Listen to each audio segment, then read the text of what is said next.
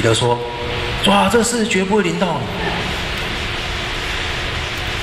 登山变相的时候，彼得说：“哇，这里真好，我们搭三座棚好不好？一座为你，一座为摩西，一座为尼以利亚。”那在十九章的时候啊，当主耶稣说：“财主进天国，要比骆驼穿过针眼还要难。”哎，这个时候门徒们觉得是很稀奇啊。哎，彼得他马上说：“哇，我已经抛弃了所有了，我将来能得什么呢？”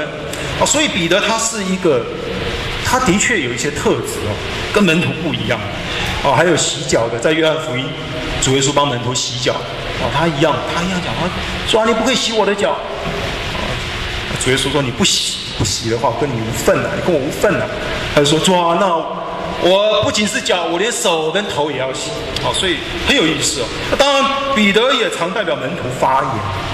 那在马太福音十五章十五节那边呢，当这个主耶稣讲到说这个入口的。不会污秽人，出口的才会污秽人的时候，哎，彼得他马上就讲说：“主啊，请你把这个比喻讲给我们听。”啊，在十六章十六节，该撒利亚菲利比，主耶稣问门徒说：“我是谁？”哎，彼得说：“你是基督，是神的儿子。”好，所以我们我们看到彼得他代表门徒发言了。那另外我们也还看到主耶稣把天国的钥匙交给了彼得。啊，这个在马太福音的十六章，也把兼顾弟兄的责任托付给他。啊，这在路加福音的二十二章。所以由此看来啊，其实彼得他也算门徒当中的什么非正式的领袖。哦，当主耶稣在地上服侍的时候，门门徒每天跟着主耶稣，什么事都是主耶稣打理。门徒根本不用出面，所以门徒其实就像一个婴孩在。母腹里面受到保护一样，受到保护一样。那有主耶稣在，尽管彼得他有再多的问题啊，他都不需要到第一线去面对挑战。但是今天虽然主耶稣从死里复活，啊，门徒也喜乐，但是啊，主耶稣不像以往二十四小时都跟门徒在一起。啊，这个时候彼得他就在想，他已经脱。领受了主耶稣的托付，将来他要独自来面对这些各式各样的状况的时候，他有没有能力承担这个使命？他在忧虑这件事情，并且才不久之前呢，他还三次不认主，所以我想他的心里的自责啊，绝对不是两三天就消失的。因为他担心未来，所以我说他得了这个重生的忧郁症。所以到这里啊，我想剧情比较明朗哈。当彼得说他去打鱼的时候，给人的感觉好像是毫无目的，其实不是哦，其实他想舒缓一下心里面的那个那个闷哦。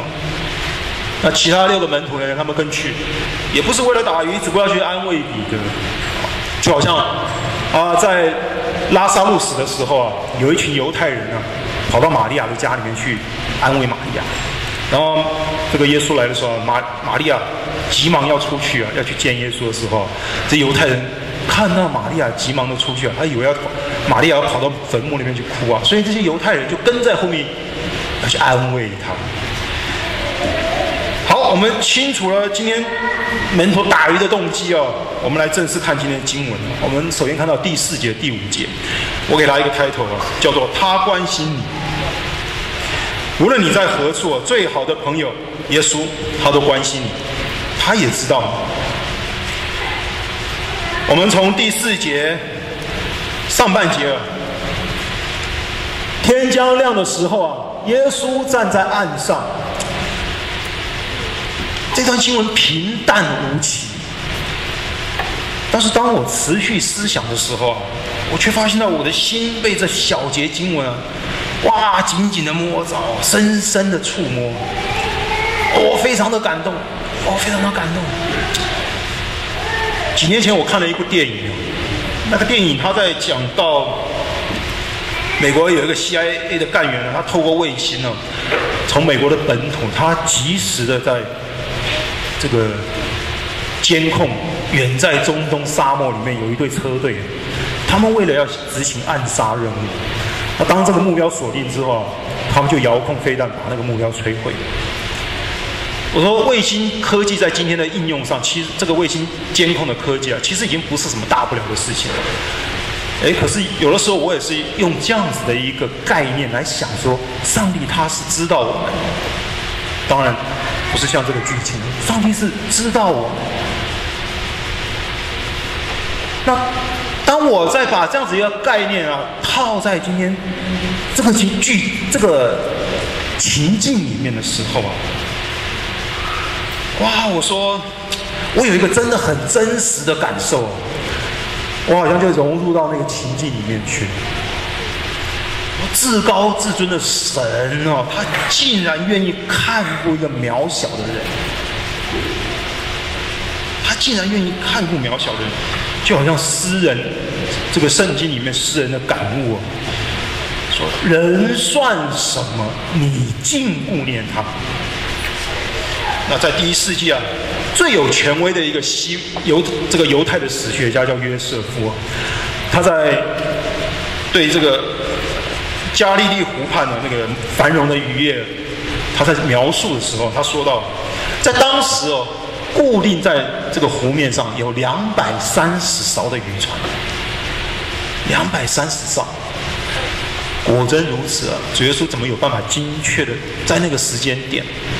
这个天还没亮的时候，主耶稣不是吃饱没事干，一个晚上在那边找门徒。no，主耶稣精准的找到门徒，这不是偶然。那接下来我们看到第四节的 B 哈，作者一句哈，门徒不知道是那是耶稣，作者把他轻轻带过去。啊我说，这些经文让我思绪翻搅。我不知道各位感受如何，就像门徒的处境哦，门徒劳了一个晚上，主耶稣对他的处境，主知道，主关心，主也在乎。主也愿意向他们显现帮助，尽管门徒不知道，主正在关心他们。啊，我不知道各位回去体会这个感觉，提醒我们属上帝的儿女们，我们常说我们的需要，上帝都知道啊。我们也相信上帝是随时看顾的神哦。